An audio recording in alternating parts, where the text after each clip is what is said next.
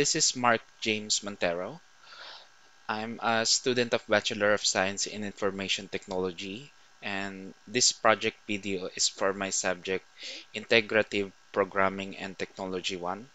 So the topic that I choose is uh, group number one, which is uh, compiled versus uh, interpreted languages, and then integrative coding and intelligent storage system.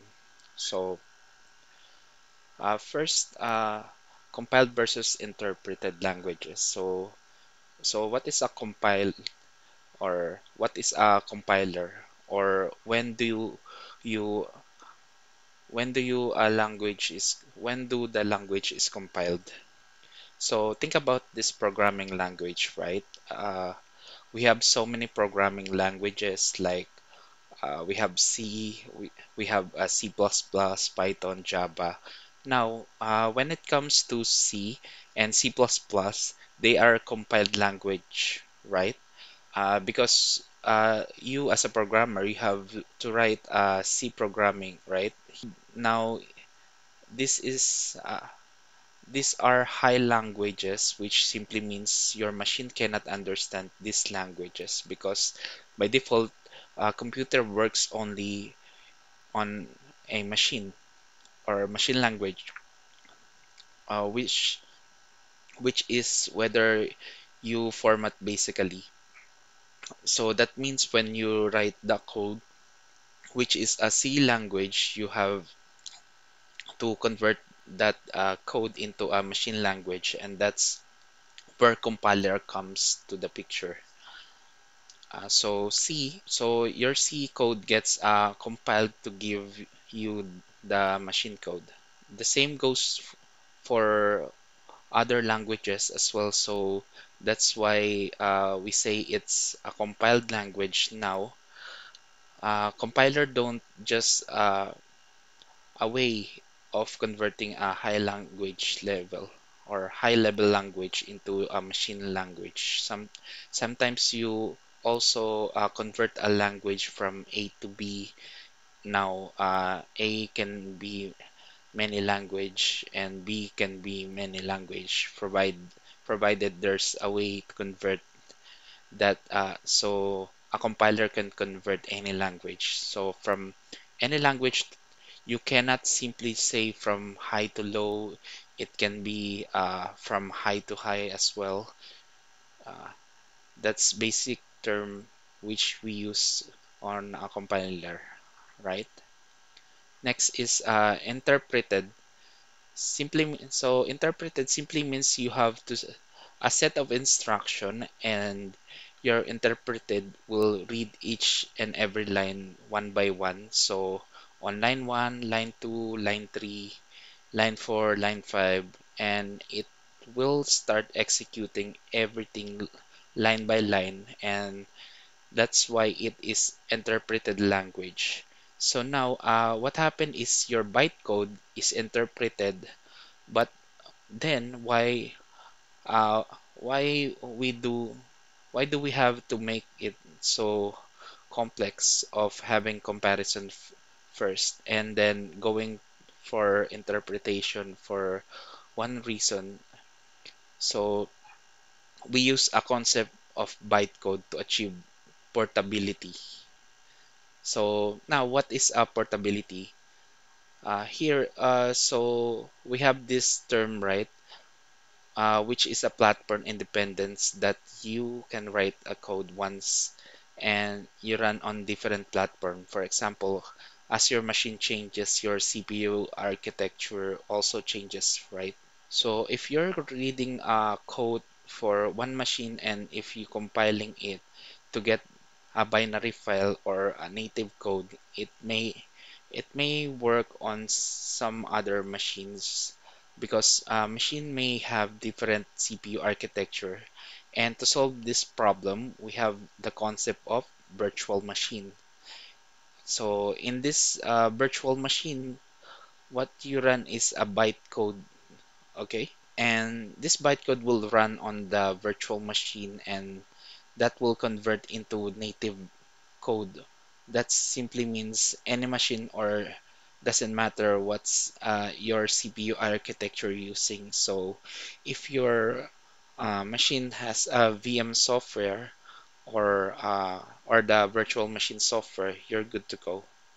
So uh, the moment I say virtual machine, are you thinking about the VMware or something? So not exactly. Uh, we are not trying to copy a physical hardware. So this virtual machine, which I'm talking, is uh, very specific to the programming language.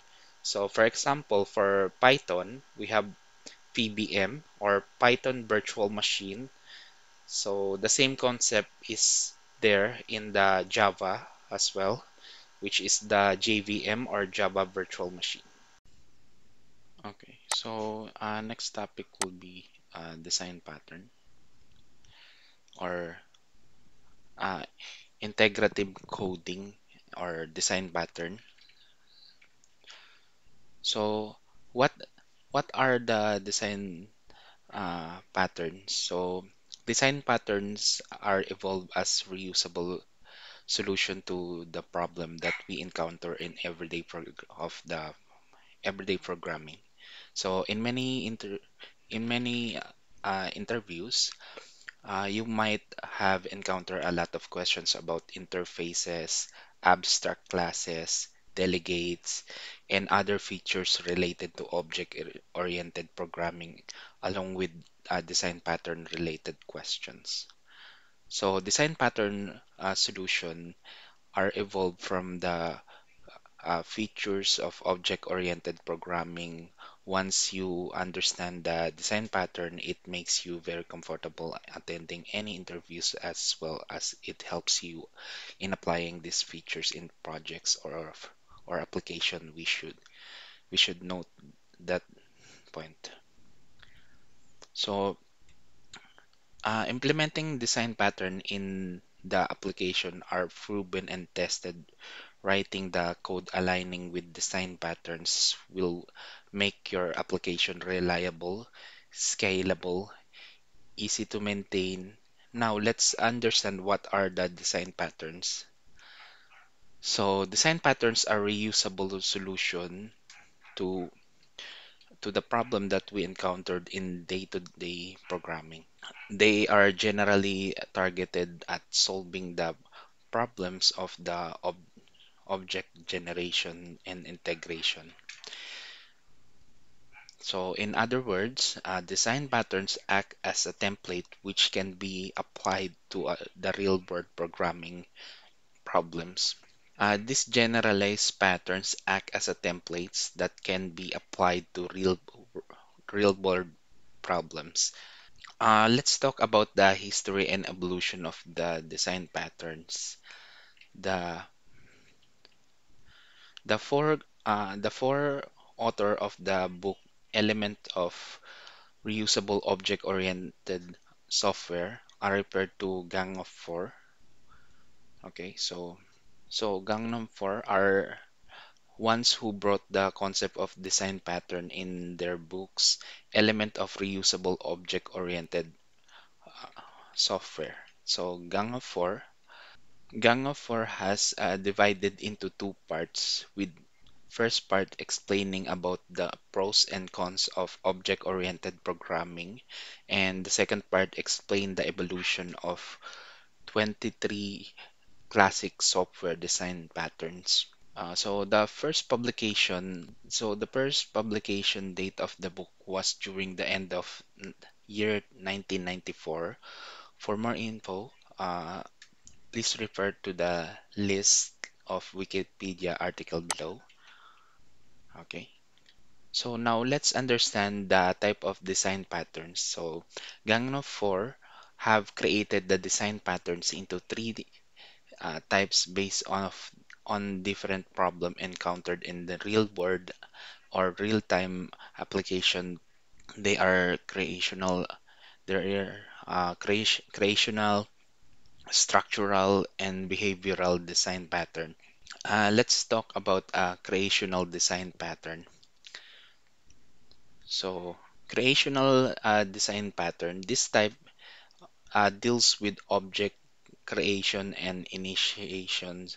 So this uh, pattern gives the program more uh, flexible or more flexibility in deciding which object needs to be created for a given case. Singleton, factory, abstract, etc. And so these are some of the creational design pattern. Second type of uh, design pattern is structural or uh, structural design pattern. So uh, post-creational uh, design pattern. So structural design pattern, this type deals with class and object composition. In simple word, uh, this pattern focuses on decoupling interfaces, implementation of classes and its objects. Adapter, facade, and bridges are some of the example of structural design pattern. So now that you know how to create a structural object and classes, we need to understand how we control the behavior of these objects.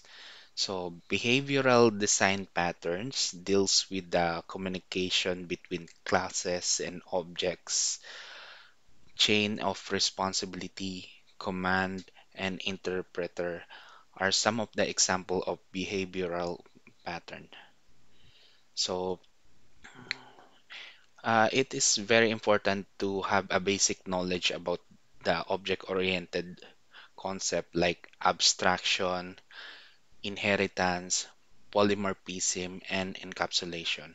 So interfaces, classes, and abstract classes. So these are the most important part of the design pattern. Okay, so uh, intelligent storage system. So this will be our next topic. So uh, example of intelligence uh, intelligent storage system is the VNX. So what makes it uh, what makes it intelligent? What do you think? So I think it's uh, software. Software makes everything intelligence, right?